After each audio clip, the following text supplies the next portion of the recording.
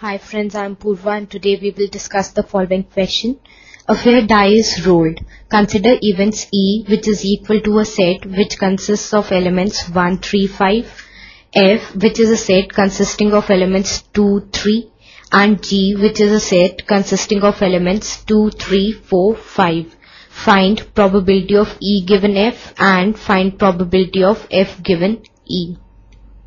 Now, if E and F are two events associated with the sample space of a random experiment, then the conditional probability of the event E given that F has occurred, that is, probability of E given F is given by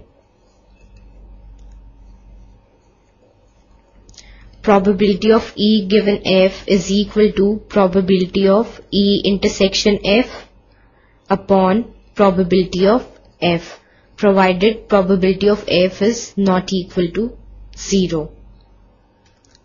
So this is the key idea behind our question.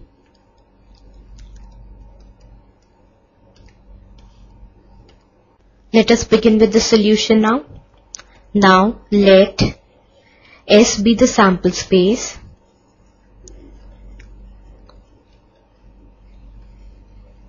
of the experiment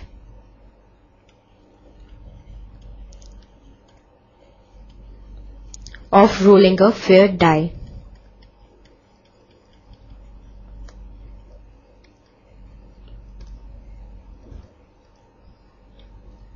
Then S is a set consisting of 6 elements 1, 2, 3, 4, 5, 6. Now we are given that E is a set which consists of elements 1, 3, 5. F consists of 2, 3 and G consists of 2, 3, 4, 5. Now we have to find probability of E given F and probability of F given E. Now by key idea we know that probability of E given F is given by probability of E given F is equal to probability of E intersection F upon probability of F and similarly probability of F given E is equal to probability of F intersection E upon probability of E. We mark this as 1 and we mark this as 2. Now E is a set consisting of elements 1, 3, 5. So probability of E is equal to 3 upon 6 because total number of elements are 6 out of which 3 of them are in E. So we get probability of E is equal to 3 upon 6 which is equal to 1 upon 2.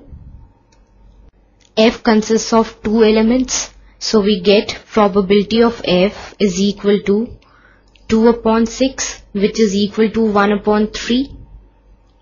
Now E intersection F is the set consisting of elements which are common to both E and F and only element 3 is common to both E and F. So we get E intersection F is equal to singleton 3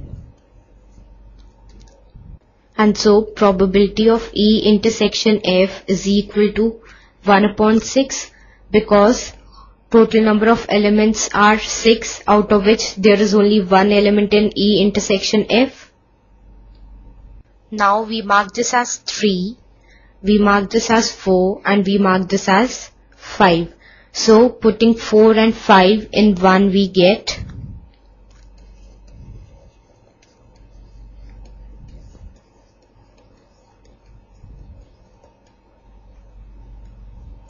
probability of E given F is equal to 1 upon 6 upon 1 upon 3 and this is equal to 1 upon 2. Now putting 3 and 5 in 2 we get